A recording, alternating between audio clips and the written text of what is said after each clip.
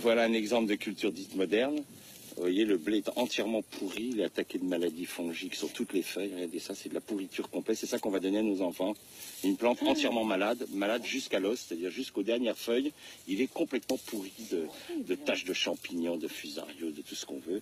Et, et ce blé Ah. ne tient que parce qu'on a mis des produits chimiques. D'ailleurs, regardez la laideur de son épi. Il a un épi complètement boursouflé. Autrefois, on parlait du blond, de la couleur blonde des blés. On en est loin. hein. Ils sont tout gris, ils sont moches. Ils ont été raccourcis, ils sont très courts. Hein, autrefois, un blé, ça montait ici. Mais là, comme ils mettent de l'azote, il tombe par terre. Pour qu'il tombe pas par terre, ils les raccourcissent, ils leur foutent des hormones. Puis regardez, c'est affreux, il est pourri, quoi. Et ça gêne pas les gens. Ça va partir au silo, puis ce sera payé le même prix qu'un blé, euh, qu'un blé en bonne santé. Donc, euh, ne voit pas l'intérêt de, de faire du bon. Viens regarder le sol. Regarde les crevasses. Mais c'est que du sol. Regarde l'état du sol, le malheureux. Il est couvert d'algues. parce que Les algues et les mousses poussent sur les rochers. Donc, comme ce sol est devenu un rocher, Ah, bah, Hallucinant. il est complètement fissuré, complètement. Non, voilà. Ça, c'est un sol mort. regarde ça. On fait plus d'agriculture, on fait de la gestion de pathologie végétale, ce qui n'est pas la même chose. hein. C'est-à-dire qu'il faut amener au silo une plante malade. Donc il faut traiter au bon moment, etc. Donc vous ne mangez que de la plante malade et que des animaux malades. Et donc ça fait des gens malades. Et la médecine vend ses médicaments. Et donc, comme c'est les mêmes boîtes qui font tous les produits, euh, cycle magnifique, ça. C'est superbe, ça. Quand des, paysans se suicident, ils se suicident avec les pesticides. L'agriculteur ne se tue pas au fusil, il se tue avec le produit qui a tué sa terre. hein. C'est, symboliquement, c'est, très très lourd. hein. Et ça m'a toujours impressionné comment on peut ouvrir une bouteille de pesticides et puis la boire. Il faut vraiment être au fin fond du rouleau. Et la plupart des sols, maintenant, ils puent, ils sentent plus rien, ils sont morts. Il y a des moments avec Lydia où on passe une semaine à ne mesurer que des sols morts, que des sols morts au laboratoire pendant une semaine. On a le, moral dans les talons à la fin de la semaine. Mais bon, on a, développé des méthodes qui permettent de remettre les sols debout et de, recréer, de, réinstaller des hommes dans des endroits euh, abandonnés. Mais la situation est très dure parce que face à, l'énorme destruction qui est faite en ce moment sur la planète, euh, c'est très très inquiétant. C'est sûr qu'on fait pas le poids, quoi. j'ai fini mes études, moi, de, de zoologie, biochimie à l'université. Je suis rentré à l'agro. Et là, à l'agro, j'étais horrifié. Là, on nous apprenait à mettre de la viande dans la nourriture des vaches, rendre les vaches carnassières. On, euh, on entassait les porcs, les porcs se mangent la queue, on coupe la queue des porcs. euh, on entasse, ils se mangent les oreilles, on coupe les oreilles des porcs. On entasse, ils continuent à se manger les jambons, donc on leur arrache les dents. euh. Et quand je voyais ça, ils nous projetaient les films avec des caméras vidéo, des prises de la nuit, hein, où on voyait les porcs se dévorer. Je dis, les hommes sont devenus fous. Les femelles, on est obligé de les entraver, sinon elles dévorent leurs petits, parce qu'elles sont à des niveaux de densité qui est insupportable.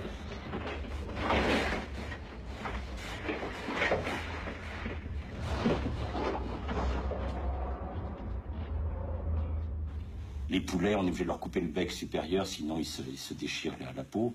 Euh, on a même, il y avait mis des ingénieurs qui ont créé des races de poulets sans plumes parce qu'ils avaient calculé qu'il y avait des pertes d'azote avec les plumes, que ça coûtait de la, ça consommait de l'azote et de la potasse. Donc ils ont fait des variétés de poulets sans plumes, puis ils se sont rendus compte que les poulets sans plumes, ils avaient froid, fallait chauffer les bâtiments et que ça coûtait plus cher que l'azote. Donc finalement, ils ont remis des plumes sur les, sur les poulets. Donc si vous voulez, on voyait des trucs complètement fous, quoi. Des gars qui fabriquaient des tomates carrées pour mieux les ranger dans des caisses. euh, euh, ils, avaient, ils ont essayé de faire des œufs carrés, ils n'y sont pas arrivés parce que l'œuf est très embêtant, parce que l'œuf est dans une, une enveloppe qu'on appelle hyperboloïde de compensation qui prend beaucoup de place. Et on aimerait bien que les poules pondent des œufs carrés, ce serait quand même plus pratique à ranger, mais là ils n'y sont pas arrivés.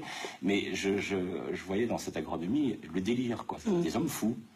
Et donc en sortant, euh, tout de suite, avant, avant la fin des études, je me suis dit, non mais là ils ne savaient plus.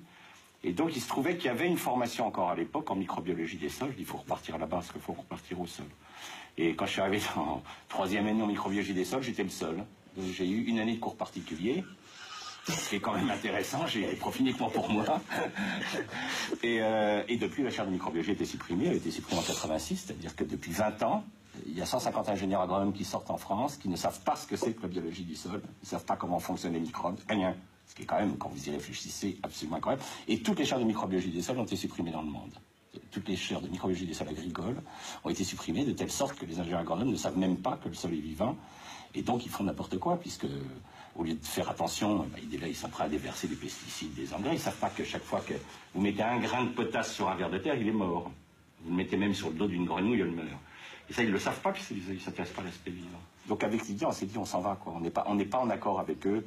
Le mieux c'est qu'on parte et on va essayer de, montrer que la biologie des sols peut avoir un rôle en agriculture. Bah, nous, quand on a mis au point notre méthode d'activité biologique des sols, si on avait été voir ah bah en disant voilà, on est en train de montrer que vos produits tuent la vie des sols, est-ce que vous pouvez financer notre recherche? Le mec il nous a dit oui, c'est ça, on se téléphone, on se fait une grosse bouffe.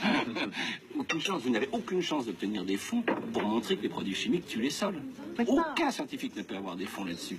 Donc aucun scientifique ne travaillera là-dessus. Parce qu'il n'aura pas de fonds. Euh, personne ne le paiera. Et comme l'État ne veut plus payer les chercheurs, il faut qu'ils se débrouillent pour aller chercher des fonds, sinon il n'y a pas de recherche. Et eh bien c'est fini, la recherche est vendue. Et à partir de ce moment-là, tout ce qui gêne l'industrie ne sera jamais étudié sur le plan scientifique. Et c'est là qu'on se rend compte que c'est comme ça que cette civilisation va s'effondrer. C'est qu'à partir du moment où il n'y a plus de recherche possible qui va contre les grands intérêts, le système se casse la gueule, il s'effondre, il est en train de s'effondrer.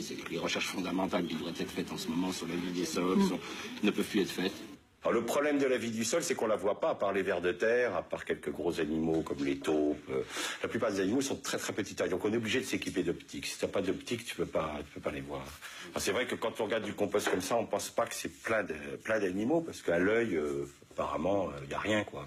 Mais toutes ces petites bêtes-là, elles ont aussi un avantage, c'est que à leur échelle, bien sûr, c'est microscopique, mais elles circulent et elles vont circuler dans des galeries. Mais ces galeries, elles ont un avantage, c'est qu'elles aèrent le sol, puisque ces petits trous vont permettre à l'oxygène de rentrer dans le sol, de l'aérer, et ça servira aux microbes et aux racines.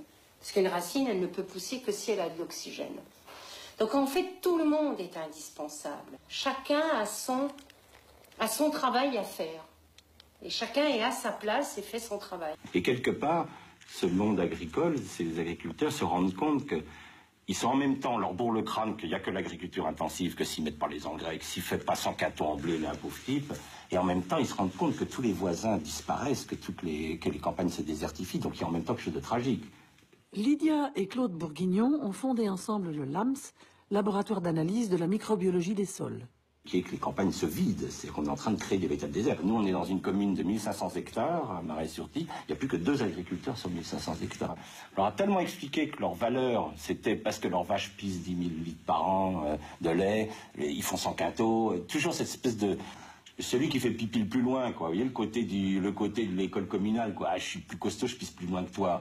Et, leur faire comprendre que c'est pas ça le métier d'agriculteur, c'est doit nourrir, et donc il doit nourrir avec des animaux sains et des plantes saines. Or, c'est plus ce qu'ils font. Hein. Ils font, ils n'élèvent plus des plantes malades et des animaux malades avec ça qu'on va, qu'on va nourrir la population. Autrefois, on avait équilibre agro-silvo-pastoral, le champ, la forêt et les animaux. C'était ça qui a fait cette civilisation agricole pérenne qu'on est en train de détruire depuis 50 ans parce qu'on met les animaux d'un côté, qu'on entasse dans des usines, et puis les, cultures de l'autre, et puis la forêt, ben, on, la parque ou on la cultive comme les, comme les céréales, on plante les arbres en ligne, c'est le cauchemar. Quoi. Tu enlèves la chimie, les fertilisants de synthèse de certaines régions françaises, mais qu'est-ce qui se passe? Mais il se passe rien, parce que la Terre, elle est morte. Donc ça veut dire on vit pas dans un désert comme le Sahel, mais on vit dans un désert virtuel. Parce que la Terre, elle a déjà tout donné, puis elle est brûlée, elle est morte. Elle ne donnera plus rien. Elle ne donne que parce qu'on met du fertilisant de synthèse. Donc en fait, on vit dans un désert, mais c'est un désert virtuel mais un jour ce sera peut-être un désert total, surtout si le pétrole continue de monter, puisque toute l'agriculture chimique, elle est basée sur le pétrole. Les femelles pondent des femelles qui pondent des femelles, donc il n'y a pas de sexualité, donc c'est des animaux. Dès qu'on remet du compost, dès qu'on remet de la vie dans les sols, et qu'on arrête de les empoisonner avec des pesticides, bah, ils savent se multiplier rapidement. Donc c'est l'espoir, hein, c'est que la Terre finalement elle est généreuse, parce qu'elle accepte de revivre malgré tout ce qu'on lui fait subir. Tous les produits chimiques qu'on met dans la Terre, ça tue. ça tue tout ça. Ça tue tout hein. ça, tout ça c'est massacré par les, produits chimiques qu'ils mettent dans ah les sols. Tous, tous. Ah, mais il y en a même qui pensent que ça amène des maladies, ça. Oui, ils pensent que c'est des parasites, quoi, que c'est pas bien. C'est tout ça, c'est forcément dangereux. C'est suspect. Ah, mais la Terre est féminine, ça c'est sûr qu'elle est hmm. féminine, la Terre. Et c'est très, très compliqué d'accepter qu'elle puisse être aussi vivante et aussi, euh, aussi fertile. Tiens, l'acarien, là. Il est beau, l'acarien, là, regarde. Hop, petit acarien blanc. À 50 grammes hectare, il tue tout. Hein. Vous savez, pour tuer, pas besoin d'être très intelligent. Prenez un abruti qui n'a pas grand-chose sous le casque, vous lui donnez une grande mitraillette, et il tue tout le monde dans l'amphi, là. Mais je dis, par contre, élever un enfant, le faire grandir, l'éduquer, etc. Ça, c'est compliqué. Je dis, faire vivre, c'est compliqué. Tuer, c'est à la portée de n'importe quel imbécile. Et puis, c'est gratuit, ça. Il n'y a pas besoin de ramener de fertilisants, il n'y a pas d'industrie et tout. Ça, ils travaillent gratuitement pour vous. Vous n'avez besoin de rien. Hein. La forêt, la nature, elle vit toute seule. Hein. Et ça, bah, tu comprends qu'il n'y a pas d'argent à gagner. Nous, si tout le monde nous écoutait, je pense que tu as des multinationales euh, qui, qui auraient du mal. hein. Donc on est pas mal combattu à cause de ça, parce qu'il n'y a, pas- il y a pas assez d'argent. Donc ça, c'est le mille pattes. Hop, Ah. il y a celui que l'insecte l'a touché, il a réagi vite. hein. Ouais. Ils sont très sensibles. Tu vois, la porosité du sol, c'est c'est ça. Ça, c'est les crottes, c'est leurs crottes. C'est pour ça que quand tu marches en forêt, tu as l'impression de marcher sur un matelas, tu vois, sur de la moquette, parce qu'il y a toutes ces crottes, toutes ces crottes de ces animaux qui sont empilées les unes sur les autres et qui aèrent énormément le sol. C'est pour ça qu'une forêt, elle peut boire les plus gros orages du monde, il n'y aura jamais d'érosion en forêt, parce que la pluie, quand elle tombe sur cette structure de crotte, bah, l'eau rentre immédiatement dans le sol et va pouvoir euh, nourrir les nappes phréatiques. Alors que quand tu as labouré, tué la terre, lissé, l'eau peut plus rentrer, ça fait des érosions, inondations, les rivières qui débordent, etc. Et on accuse la pluie. Alors que c'est parce qu'on a tué les sols, ce qui n'est pas la même chose. C'est un monde très riche en espèces et qui est encore mal connu. Hein, tu vois, ici, tu as un cloporte, donc ça, c'est un crustacé. Alors lui, il a des mandibules très costauds, il mange des bouts de bois, il mange euh, euh, des pailles, il est capable vraiment de- d'attaquer des, des déchets euh, très solides. Eux, les colamboles, c'est les dentelières un peu du, du sol, hein, ils décomposent les parties tendres des feuilles. C'est beau, c'est un balai qui est à la fois lent et rapide selon les espèces. En fait, le compost, c'est pour la terre. C'est pas pour la plante, le compost. Et ça, c'est très difficile à faire, euh, à faire accepter parce que l'agriculteur, le vigneron, lui, s'il met du fertilisant, c'est pour avoir un rendement. Et des fois, les gens nous envoient des composts en bouchon. Donc, tu vois, on a comme des croquettes pour les animaux. Et puis, ils nous disent, bon, ben, vous nous faites l'analyse de, compo- de compost. Alors, effectivement, du point de vue chimique, alors là, ils sont au top. Même euh, matière organique et tout. Et alors, il n'y a pas un parce que ça a été euh, stérilisé et tout. Et là, on leur dit, mais en fait, vous, vous mettez un fertilisant, vous mettez un engrais, mais vous mettez pas du compost. Mais pourquoi? Parce que dedans, il n'y a pas de vie, il n'y a pas de microbes, il n'y a rien. Il n'y a pas d'activité biologique. Au 19e, on invente le tracteur, et c'est-à-dire qu'on va travailler la terre de plus en plus profondément. Et là, on va la détruire. Tant qu'on la gratouille, ça va. Mais alors, quand on se met à la labourer profond, l'érosion devient catastrophique. Le problème, c'est que vous vous heurtez à ce mythe fondateur qui est le labour. Et attaquer un mythe euh, chez l'être humain, c'est très compliqué. Il y a des concours de labour, y a, ils ont tous sur leur cheminée la statue en bronze avec le gars qui laboure. Euh, moi, je sais, quand j'étais à l'agro, il y avait, il y avait un illustre inconnu en bronze, une statue, puis dessous, il y avait écrit Jamais le labour n'est trop profond. Vous êtes dans des mythes. Et là, avec l'idée, on se bat pour changer la mentalité des agriculteurs. Accepter de ne plus violer la terre. Pour eux, toute leur virilité s'exprime. Plus j'ai un gros tracteur, plus je défonce la terre, plus je la viole profondément, plus je suis un mec. C'est très long de changer une mentalité. Et, et nous, nous détruisons la planète depuis, euh, depuis 500 000 ans. Et faire comprendre aux hommes qu'il est temps maintenant de la respecter, vous savez, c'est, c'est encore plus compliqué que de leur faire comprendre qu'il faut respecter les femmes. hein. Quand on voit comment on traite les femmes dans- dans- sur la planète, on comprend qu'il y aura du chemin avant qu'ils respectent, euh, avant qu'ils respectent la Terre. hein. Ils ont tellement l'habitude de violer que c'est pas, ils sont pas prêts d'avoir une attitude respectueuse.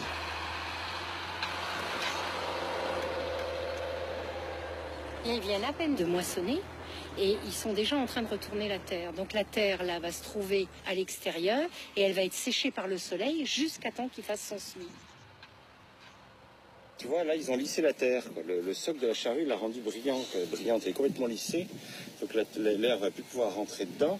C'est une, c'est une technique très violente pour la terre. La terre, il faut pas qu'elle soit lisse. Là, on a l'impression que c'est du béton armé, alors qu'elle a besoin d'être au contraire grumeleuse.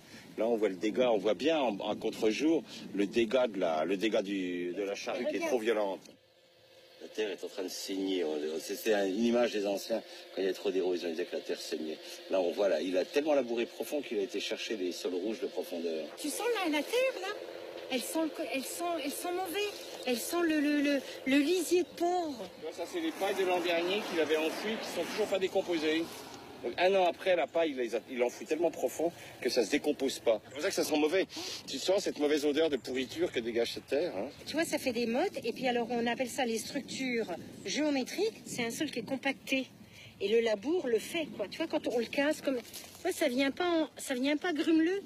Tu vois, ça, ça vient en motte. Ça devient minéral. Le sol est en train Ça de devient minéral. dans la vais aller prendre du sol sous la forêt, tu vas voir, ça correspond différent. On va voir la, la structure d'un sol quand il est vivant. C'est que des boulettes, c'est que, des, que du couscous, comme on dit. Mais là, il y a énormément de racines, hein, je suis en forêt. hein.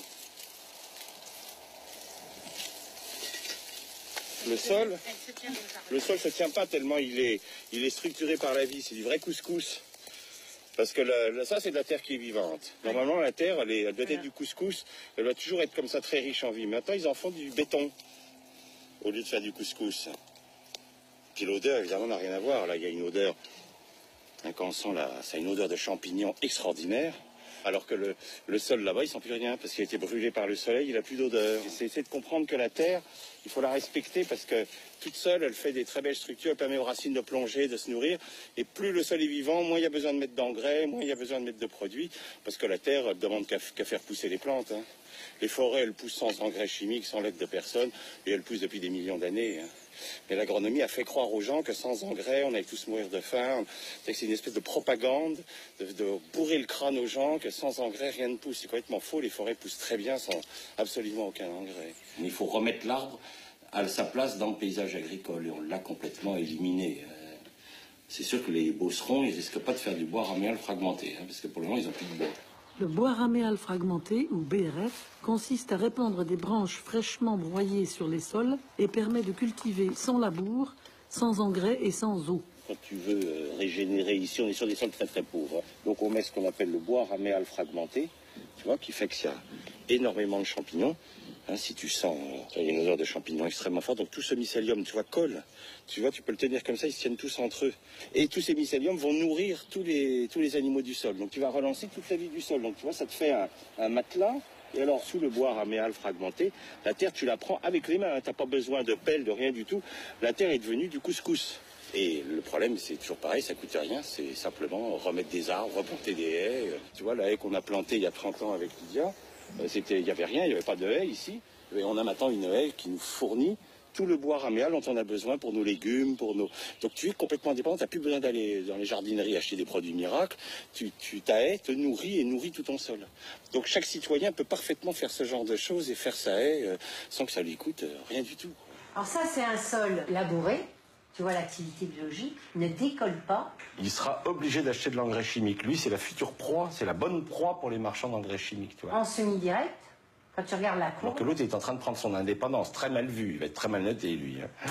On installe un couvert et c'est dans ce couvert qu'on sèmera la culture suivante. Donc là, le sol est à l'abri pendant tout l'été. Voilà le couvert pendant l'été. ça va lui maintenir l'humidité, ça va garder la faune et ça va germer là-dedans. Et les gens ne croient pas que ça peut sortir, mais ça sort. Et les mauvaises herbes peuvent pas pousser parce qu'il y a toutes ces pailles qui les empêchent de germer. Donc c'est propre, donc il n'y a pas besoin d'herbicides. Psychologiquement, c'est très dur pour l'agriculteur d'arrêter le fous, hein, là. et puis de- d'accepter de, de mettre des graines dans un sol où il y a déjà une végétation, c'est un choc psychologique. C'est moi seulement et personne d'autre qui défonce ma terre.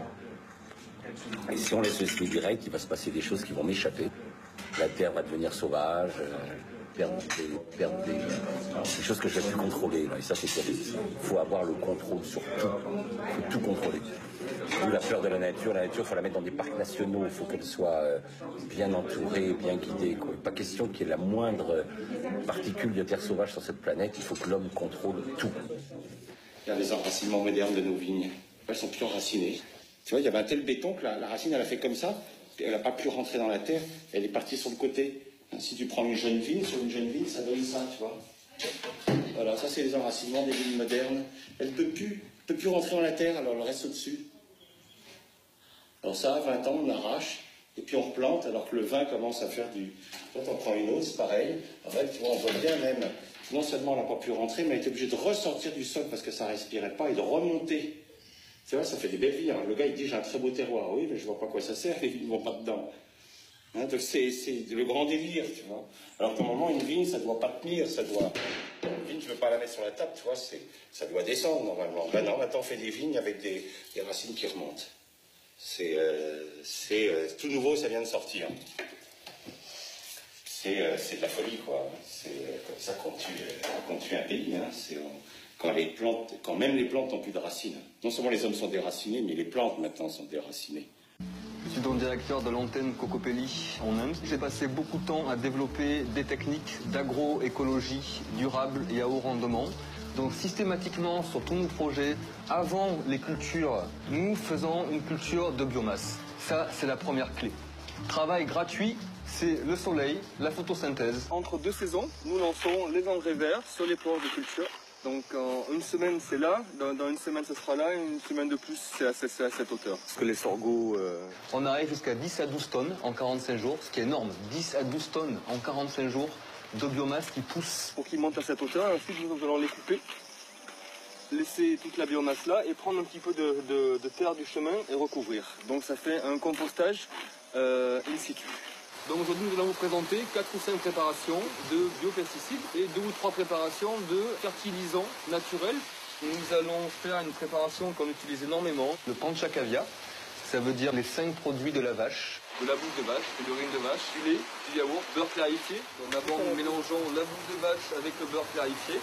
C'est un promoteur de croissance très puissant.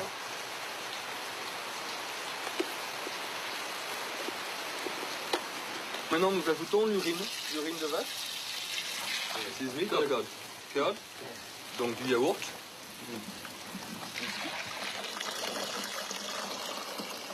Le pain caviar, on peut le remuer une minute le matin, une minute le soir.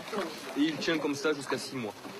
Là, nous allons voir une, préparation, le fish meal extract. C'est donc euh, un kilo de poisson, un kilo de sucre, citron, et on laisse ça euh, se décomposer pendant 2-3 euh, semaines. récemment aussi. On va passer à quelques recettes de biopesticides. On va faire une préparation à la base de piment, ginger et d'ail. Donc elle est très très forte et elle agit très rapidement sur les insectes qui mangent les feuilles. L'agrochimie avait commencé à prendre le contrôle de la chaîne alimentaire. Mais ils n'avaient pas pris le contrôle de la semence. Et la semence, c'est quand même le début de la chaîne alimentaire. Celui qui contrôle la semence, il contrôle la totalité de la chaîne alimentaire, il contrôle l'humanité. Donc en 1961, ils se sont donné un cadre juridique qu'on appelle l'UPOV. À partir de ce moment-là, il y a eu une offensive tout azimut. Ils ont racheté un millier de semenciers en l'espace de 30 ans et ils ont joué au Monopoly. Au jour d'aujourd'hui, tu as cinq multinationales qui contrôlent 75% de la semence potagère planétaire. Le numéro un étant évidemment Monsanto. Bien, à partir du moment où ils ont racheté tous les semenciers du monde, ils ont éradiqué toutes les anciennes variétés qui se reproduisaient conformément au type.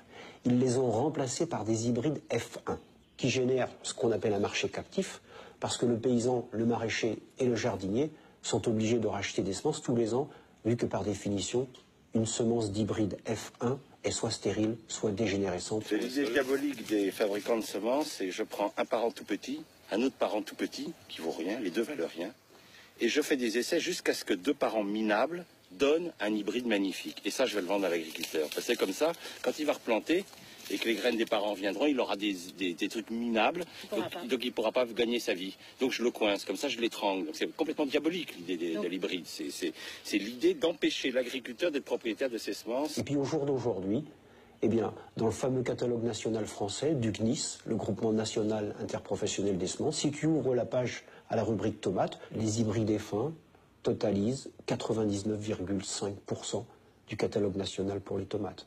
Et si tu ouvres la page au melon, aux courgettes, aux brocolis, aux choux, parfois on est au jour d'aujourd'hui à 100% de variétés hybrides et fins.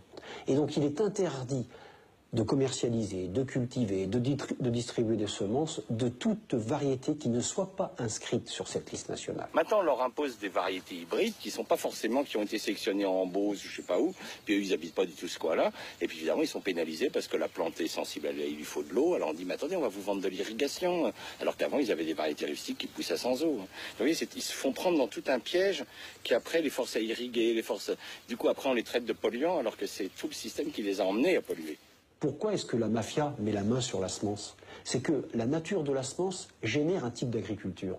Donc, une semence de nature OGM ou de nature hybride et fin appelle tout un package technologique, à savoir tous les intrants, les pesticides, les herbicides, les fongicides, etc., et les fertilisants de synthèse qui sont faits à base du pétrole. Donc en fait, on a créé cette mythologie de la productivité par les hybrides et fins, c'est une mythologie totale. Alors les pouvoirs publics disent oui, mais c'est pour la protection du consommateur. Notre première question, c'est pourquoi il n'existe pas un catalogue des camemberts ou un catalogue des chaussettes ou des réfrigérateurs? Seconde question, c'est est-ce que ça ne serait pas plutôt pour la protection des multinationales qui ont confisqué la totalité du vivant en Europe? Et quand tu vois l'état de la France, quand tu vois les résultats de l'IFEN, le niveau de pollution de nos eaux françaises, 95% des cours d'eau sont pollués par 240 substances qui avant tout sont les produits de l'agriculture. On met les bandits et les gangsters en prison. Mais quand est-ce qu'on mettra les empoisonneurs publics aussi en prison? Monsanto, c'est quand même l'entreprise qui a fait l'agent orange, qui fait qu'il y a toujours des, milliers d'enfants qui naissent normaux au Vietnam.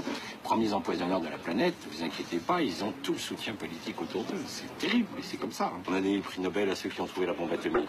On a donné le prix Nobel à ceux qui ont trouvé le DTT. Sympathique le DTT, qui a tué des milliards d'abeilles et d'insectes dans le monde. On a donné le prix Nobel à celui qui a fait la révolution verte, qui a stérilisé euh, hectares dans les pays tropicaux, qui a affamé toute l'Afrique et tout. Chaque fois que vous trouvez un truc qui va dans le sens de l'industrie, mais pas dans le sens de la vie, vous inquiétez pas, vous aurez le prix Nobel. Donc on n'aura pas le prix Nobel. Aucune chance, strictement aucune chance. Tu renonces, tu oublies. tu vois, je pensais qu'on allait l'avoir. non, non, ça s'est rappelé ça. le catalogue de toutes les, tous les fruits qu'il y avait en Europe euh, au début du siècle. Tu vois, tu l'ouvres, tu as toutes les pommes, toutes les poires, etc., qui sont toutes dessinées une par une. La beurrée du cercle, la Richard, etc. Poire noire à longue queue, la princesse Marie. 13 volumes il fallait pour décrire toutes les variétés de fruits euh, qu'il y avait euh, en Europe. En France, il y avait 3600 variétés. À l'heure actuelle, si vous ne prenez pas en plein pomme, il n'y a plus que 5 variétés de pommes commercialisées en France dont euh, la majorité sont américaines, donc nous payons des royalties alors que nous avions la plus forte diversité de fruits au monde. Toutes celles qui ne consommaient pas, qui n'étaient pas assez fragiles, c'est-à-dire qui n'étaient pas attaquées par les insectes, on les a éliminées et on a imposé la golden parce que la golden c'est celle qui demande entre 30 et 36 traitements de pesticides par an.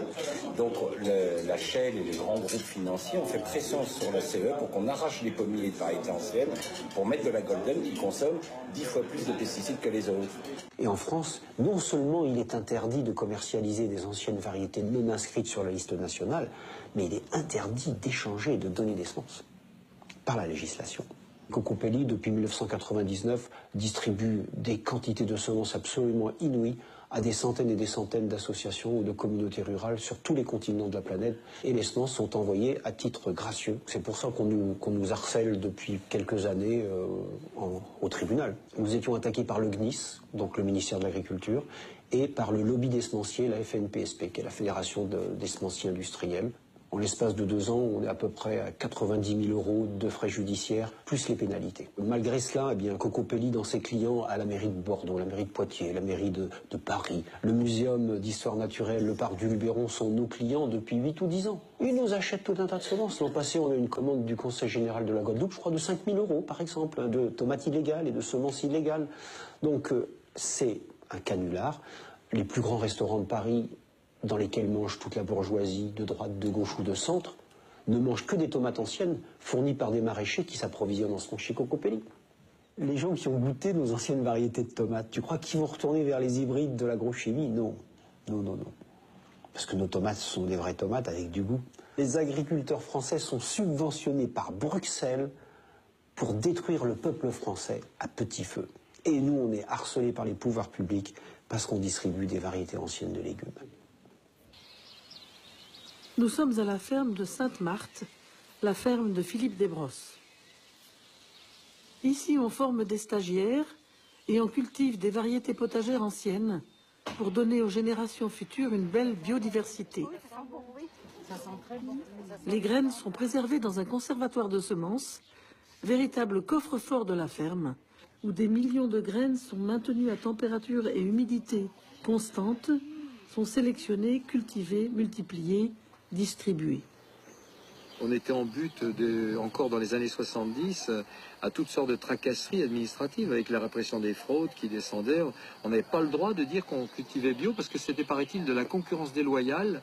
C'est comme le procès que j'ai eu pour avoir sauvé une, variété de pommes de terre euh, qui est interdite parce qu'elle n'est pas au catalogue. J'ai été condamné pour ça, alors qu'ils sont venus me féliciter parce que j'avais retrouvé l'ancienne pomme de terre à l'Institut de Beauvais que tout le monde croyait disparue. Je dis, vous allez me mettre une médaille? Alors, on me dit, ah non, on vous met une amende. Expliquez-moi. Ben oui, parce que cette pomme de terre, elle n'est pas au catalogue, donc vous l'avez mis à votre catalogue privé, vous n'avez pas le droit de la vendre, donc on vous met une amende. Alors je leur dis à ce moment-là, je dis, bah, écoutez, ça c'est excellent. Ça me donnait l'occasion de mettre sur la place publique le scandale que constitue cette réglementation qui interdit justement d'utiliser euh, ce qui finalement a accompagné l'humanité euh, euh, depuis qu'elle existe. Ce sont des plantes qui nous ont nourris, qui ont nourri des générations de personnes. Et je ne vois pas pourquoi elles sont illégales. Nous faisons 22 sortes de tomates, des rouges, des oranges, des tomates cerises, etc. Nous faisons 6 sortes de maïs, maïs blanc, maïs rouge, maïs multicolore, maïs pourpre 8 à 9 sortes d'aubergines. Donc cette année, ça va être en gros 85 variétés sur 14 espèces que nous faisons pousser ici. C'est la mission vraiment de Cocopelli ici en Inde, c'est donner aux fermiers des semences qu'ils peuvent répliquer dans leur propre champ, qui puissent supplanter les hybrides. Les semences sont tout simplement séchées à l'ombre et avec la ventilation naturelle. Et avec ça, nous produisons en gros 25 000 à 30 000 sachets de semences. Dans un sachet de semences, il y a entre 200 et 2000 graines que nous distribuons gratuitement à des associations de fermiers, à des ONG, à qui on veut. Qu'est-ce qu'on doit penser des OGM C'est souvent la question qui est posée. D'abord, les OGM sont des plantes à pesticides. Contrairement à tout ce qu'on dit. Ou elles produisent leurs propres pesticides, ou elles sont conçues pour tolérer les pesticides. Le soja Roundup, on ne pouvait pas mettre du Roundup sur le soja auparavant parce que le soja était détruit par le Roundup. Maintenant, le soja est capable de recevoir des doses et des doses de Roundup sans mourir parce qu'il le tolère. La culture OGM est, est la culture la plus polluante qui existe sur la planète. Et les gars vous le vendent en disant que ça va protéger l'environnement. quoi. C'est le mensonge absolu. Quoi. Nous, on travaille en Argentine, on a vu multiplier par 4 la consommation d'herbicides avec les OGM par rapport aux cultures traditionnelles. Et surtout, les OGM ont un autre objet. Ils servent de cheval de Troie à des gens qui ont comme projet de s'approprier le patrimoine génétique euh, de la planète, de s'approprier ce qui est notre bien commun tous. Le maïs, c'est une plante qui est résistante à la sécheresse. On en a fait des monstres de flotte qui demandent jusqu'à 120 litres d'eau par plant. Mais comme il n'y a plus d'eau maintenant, les maïsiculteurs dans le sud-est de la France sont obligés d'arrêter de faire pousser du maïs parce que les nappes phréatiques sont vides. Eh bien, l'industrie semencière OGM arrive et dit Attendez, les petits gars, on va vous sauver de la déroute, on va créer des variétés de maïs transgéniques qui sont résistantes à la sécheresse. Donc, la boucle est bouclée. On est parti d'un maïs résistant à la sécheresse pour faire des plantes qui se goinfrent de flotte, pour faire des plantes maintenant qui sont résistantes à la sécheresse par le biais de la transgénèse, au lieu de garder nos anciennes variétés de maïs qui étaient intrinsèquement et naturellement résistantes à la sécheresse. Ils ont dépensé des milliards là pour faire l'ADN de l'homme. Et puis, il y a quelques plantes dont on connaît l'ADN. Il y a l'orge maintenant, le coton, la vigne. Enfin bon, il y a quelques plantes dont on a fait. Et alors, ils ont été terriblement vexés. L'orge a deux fois plus de gènes que nous. Parce que tous ces hommes-là, ils pensaient qu'évidemment, l'être humain, forcément, euh, comme on était les plus intelligents, c'était nous qui avons plus de gènes. Elle en manque de peau, l'orge en deux fois plus que nous. Et c'est une plante. Et alors là, ils sont très très emmerdés parce que, comme il y a une partie immense de l'ADN qui ne, qui ne comprennent pas, ils ont appelé ça junk ADN, ADN de merde. C'est pour eux, c'est l'ADN qui sert à rien. Ils sont tellement cons qu'ils pensent que la vie, depuis des millions d'années, fabrique cette molécule qui est la plus coûteuse en énergie du monde vivant pour rien. Il fait ça pour rien, quoi. Ils sont d'un niveau de connerie, les généticiens, qui est absolument hallucinant. Enfin, c'est quelque chose qui vous laisse pantois. Au Costa Rica, j'ai vu les bébés qui commencent à naître sans jambes et sans bras. Parce que, en fait, dans les cultures d'ananas, eh bien, ils utilisent tellement de que les ouvriers agricoles en sont imprégnés. Tout ce que nous mettons dans la terre, nous le retrouvons dans notre corps. C'est pour ça que je dis aux gens, bientôt, ben, quand on se met à table, il faudra, plutôt que de se souhaiter bon appétit, il faudra se souhaiter bonne chance, dans le sens où, où, où c'est absolument pas ce qu'on met dans son corps, ni ce qu'on donne à ses enfants. Et moi, je pense qu'ils font ça pour affamer les pays, parce qu'ils commencent à en avoir. Je crois que les riches commencent à en avoir vraiment marre des pauvres. Ça, c'est une, une, grande caractéristique du début de l'an 2000. Les riches se révoltent, ils trouvent que vraiment les pauvres, ça suffit. Quoi. Il va falloir que ça s'arrête un petit peu, parce que ça commence à être franchement pénible. Donc, si avec les biocarburants, on pouvait en faire mourir un peu plus, ce serait quand même assez sympathique. Là, on sent qu'il y a une vraie révolte des riches. Ils sont fatigués de tous ces pauvres. On ne sait pas quand on va passer de milliards de crèves la faim, mais ça va être dans peu de temps, parce que avec tous ces biocarburants, il n'y a plus, a plus assez. La Chine, la Chine a baissé de 10% sa production depuis 2000. Elle importe, elle importe, elle est en train de faire venir de la céréale, donc il va y avoir des conflits entre ce qui sert à faire rouler les bagnoles et puis nourrir les Chinois. Donc c'est. On est en pleine crise alimentaire. On est à 20 jours de stock sur la planète en ce moment. Quand tu vois que l'Australie en est à sa huitième année de sécheresse consécutive et qu'en Australie, ben, au lieu de produire 21 millions de tonnes de blé comme ils faisaient avant, ben, ils en produisent que 10. Ça veut dire moins de la moitié. La confiscation la plus grave que l'on fasse au genre humain, c'est que des trusts les nourrissent et qu'ils n'arrivent plus à se nourrir par eux-mêmes ou qu'ils qu ne le font pas. D'où le du droit et des devoirs des populations à se nourrir elles-mêmes. C'est-à-dire que quelquefois, il y a des populations... Euh, on leur confisque pas forcément le droit, mais elles, elles n'intègrent pas la notion de devoir de le faire. Comme la loi du marché, elle fonctionne sur ses propres lois, si la survie devient un problème, la loi du marché ne se sentira pas forcément concernée. Parce qu'on ne fait pas de l'altruisme avec du commerce. Ils ont, ils ont un disque dur qui est bloqué, qui ne peut pas penser autrement que croissance, il faut produire, il faut tous les ans, il faut, il faut faire euh, de 7% de croissance, 10% de croissance.